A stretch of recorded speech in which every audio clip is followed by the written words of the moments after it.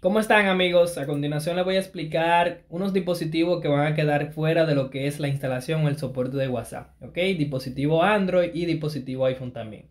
Por ejemplo, vamos a empezar con los dispositivos Android. Ya un dispositivo Android que tenga una versión 4.0 hacia abajo, bueno, es muy difícil que una persona ya tenga un dispositivo con esa versión porque es una versión ya muy antigua. Y obviamente dispositivos muy antiguos la tienen instalada.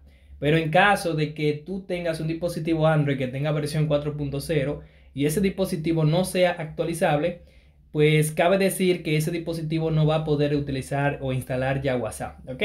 ¿Por qué? Porque el WhatsApp solamente tiene soporte hasta Android 4.1 hacia arriba. De Android 4.1 hacia arriba, tú puedes seguir instalando WhatsApp en cualquier dispositivo Android. Ahora, si tienes un dispositivo Android que esté por debajo de esa versión 4.1, pues lamentablemente no puedes instalar lo que es el WhatsApp, a menos que tu dispositivo sea actualizable. En conclusión, todos los equipos Android que tengan versión 4.0 pues ya no van a poder instalar WhatsApp. O sea, el WhatsApp no es compatible con esa versión de Android. Bien, entonces por esta parte también tenemos lo que son los dispositivos iPhone.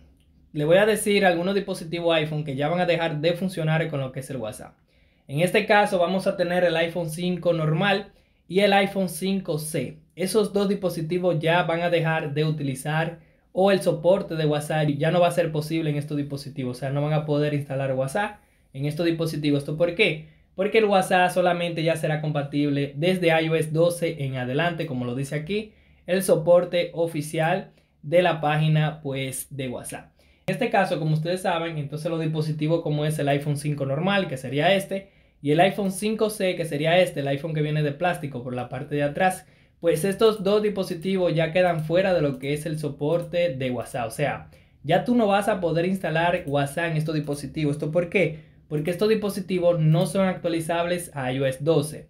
Este dispositivo, el máximo, a la máxima versión que llega es iOS 11. Por ende, ya queda fuera de lo que es el soporte de WhatsApp ya en este año. Creo que en octubre, que vi una información como esta, es que quedará fuera. Básicamente cuando tú intentes instalar lo que va a ser en un dispositivo con iOS 11 o 10, pues te va a salir básicamente un mensaje parecido a este. No es el mismo, pero te va a salir un mensaje parecido.